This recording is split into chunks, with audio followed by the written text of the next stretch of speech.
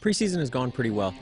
We've had uh, some issues with the weather. However, with that being said, we've been able to kind of manage it to a pretty good degree uh, of success, and we've been able to go inside a couple of times uh, during this tropical storm, as well as uh, find some other locations to train at while the fields uh, basically clear up from the water.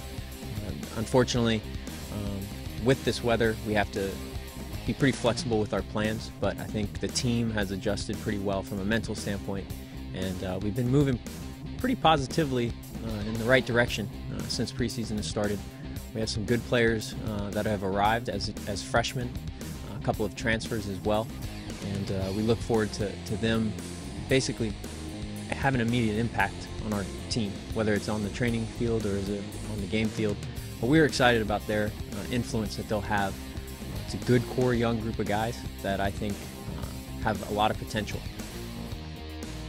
Well, we have some pretty uh, significant returners in regards to seniors. We have one grad student as well as uh, seven other seniors that will be graduating this year. Um, apart from the soccer, we're excited to see them uh, graduate uh, in four years and see some people move on to professional programs in their graduate degree.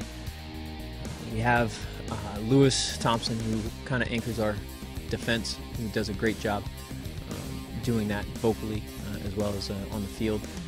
We have uh, Matt Crum, who as well, as well has been here for four years, and we're excited to, to see his impact on the team, uh, both on the field but also from the uh, spiritual perspective.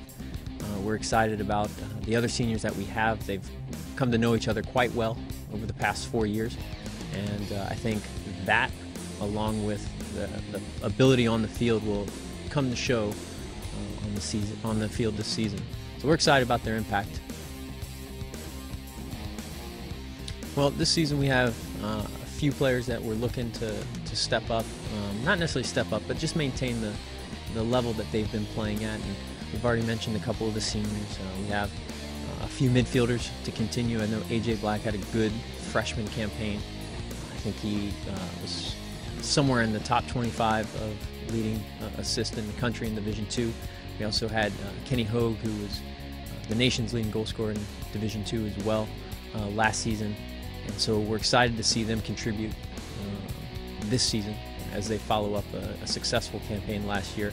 We also have a couple of midfielders that should be uh, fun to watch in, in regards to returners. Uh, Kevin Ireland, he, he, he, plays very well um, for us, kind of helps us out, anchor that central midfield. Uh, we have also uh, Gabe and Shem who have been here for, for four years as well, and we're excited to see their contribution, uh, whether it's centrally or out on the on the wing um, so we're excited to see what our senior class, and we have a couple more seniors that that do help us out um, in regards to uh, on the field and, and also um, from a spiritual perspective.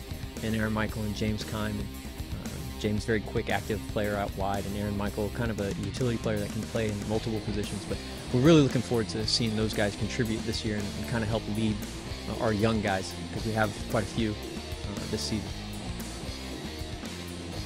we have a good freshman class uh, and a good transfer setup uh, coming in, and the newcomers uh, this year should have an impact on our team.